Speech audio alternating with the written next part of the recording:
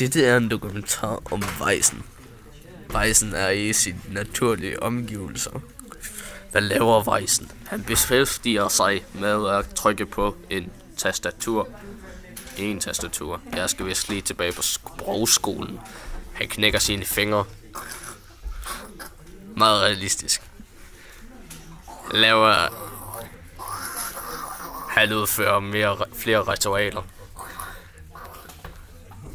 Interessant. Jeg tror ikke, han har spottet, at vi er her endnu. Som I kan se, han er et af de mest primate dyr i junglen. Han var næsten lige ved at slå os ihjel, men slet ikke tæt på. Han gør sig klar til sit mate-ritual nu. Han tager blyanten frem. Au, for satan. Den tager